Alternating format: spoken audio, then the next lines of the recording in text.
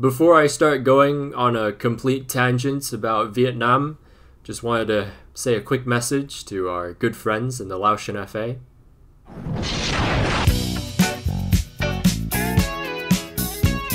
I know I'm a little bit late on this, but I did say I was going to be on break, and I was not going to go off break just to make one video. Adding to that though, thank you for 30k on Christmas Day.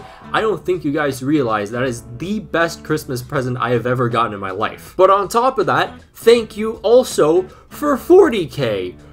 What is going on? Also, if you didn't know, the Vietnam video from November, I think, is at over 100,000 views. I didn't think that was ever gonna happen, but here we are, I guess, so thank you there too. I'm sorry this intro is a little bit long, but before we go into this real quick, if we could get 2,000 likes on this video, that would be fantastic. So quick note, I am only going to be talking about the AFF championship matches that involved Vietnam. I would have loved to watch more of the matches, but I am not waking up at 7.30 in the morning more than I need to. So, in the AFF championship, Vietnam drew with Laos, Malaysia, Indonesia, and Cambodia. Laos were Vietnam's very first opponent, and for a change, Vietnam finally had most of the possession in a match. That was mainly because of Laos' low block pretty much immediately into the match. And in all fairness to Laos, when money isn't involved, they're structured pretty well. Vietnam struggled a ton to break down the low block. Most of the time, they'd be utilizing early crosses or throw-ins from the right side, and quite literally only the right side of the pitch. Sometimes they'd even go for my favorite move, the hopeless long shot. The Golden Dragons would eventually score through both Wing Phuong and Phan Van Duc, but in no way did that communicate we're the tournament favorites to me. One other thing about this match was the legendary Billy Kay. I'm gonna not say his last name in full because I feel like that's just gonna insult him. But Billy made his senior debut for Laos at age 31 and looked very dangerous. Despite him being the only player to actually threaten the Vietnamese defense, I was still pretty worried about him at times. Had that man been given just a little bit of a source of creativity, I wouldn't doubt for a second that he'd score one or even two goals. But yeah, all in all, really unconvincing performance by Vietnam. It is the opening match, however. So, on to the next one. Malaysia. In this match, it was by far the best performance I had seen from the Vietnamese, pretty much in the entire tournament. Vietnam started significantly better than they did against Laos, and Nguyen Quang Hai actually starting this match definitely played a part in that, as he'd scored the very first goal of the match, and dear lord does this man have a cannon for a foot. He assisted the second goal where Nguyen Cong Phuong did what I do to score in FIFA 16. Then to close off the match, Nguyen Hoang Duc goes from providing the defense another man to scoring the third. That goal was Nguyen Tuan Anh's second assist, and he'd be man of the match with an exceptional performance. Indonesia were up next, next, and I was a little more confident going into this one.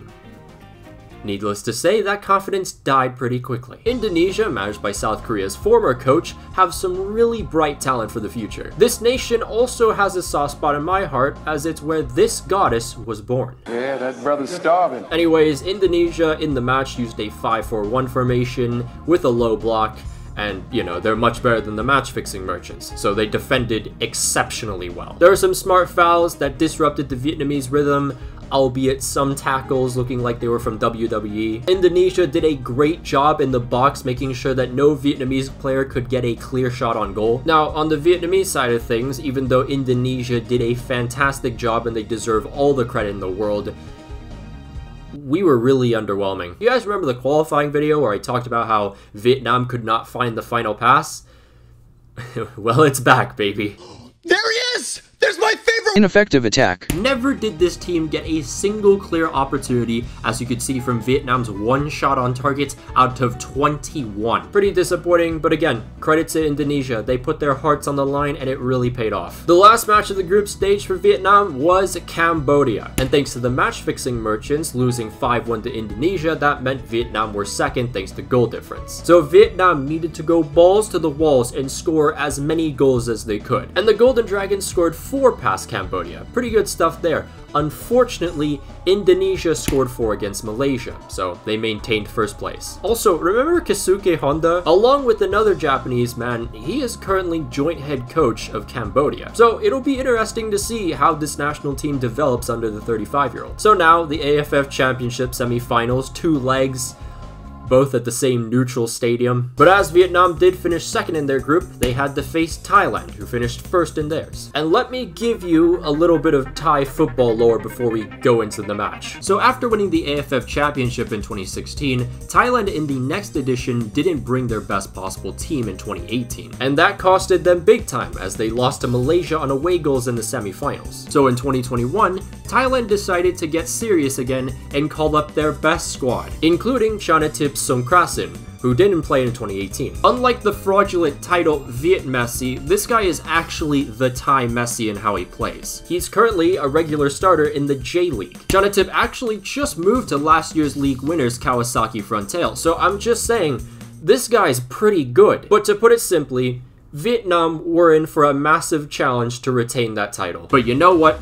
I've been pretty harsh on Vietnam. I believe. I believe that we can win.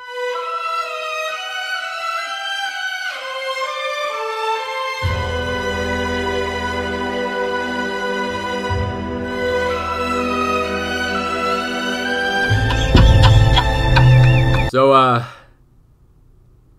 Thailand were so much better than us. They ran circles around Vietnam throughout the entire first half, and their passes were just so crisp and clean compared to whatever the hell we were doing. Thailand grabbed another goal in this fashion with Chanatip receiving the ball deep and progressing past the Vietnamese back line via some 1-2s with his teammates. It appeared the Thais also took a note from Indonesia's playbook, which was smart fouls to interrupt the Vietnamese rhythm. However, some of the fouls were a little questionable. Into the second half, there was just a lot more passiveness because Thailand didn't really need to do much other than control the game. And Vietnam were just as effective as they were in the first half. Constantly, they were messing up touches and passes, and you could feel the hesitation in every step. There was only one good Vietnamese performance in Nguyen Quang Hai, who was unlucky to hit both the post and the crossbar. He was at the top of his game, trying to split through the defense, trying to get some passes into the box, all that kind of stuff, but he just had no help. Now, Thailand had a chance to score on a penalty later on.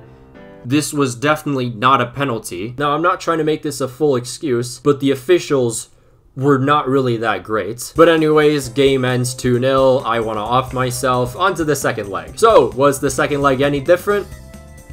No, no, it wasn't. You could literally take the second half of the first leg, duplicate it, and that would be the entire second leg. Because again, Nguyen Quang Hai was on that no help type beat, and it was so frustrating to watch this attack. On top of that, when we did get the chance, a clear shot on goal, which was very rare even in the second leg when we were attacking most of the time, the finishing was woeful. Anyways, game ended nil-nil. Eventually, Thailand would win the entire thing. Big respects to Thailand, and really every opponent. Besides Laos. Laos. Oh, and another thing, for anyone who enjoys a wild match, just watch the entire replay of Indonesia versus Singapore in the second leg of the semifinals. So, with all that now gone, we return to World Cup qualifying, and we're facing Australia and China.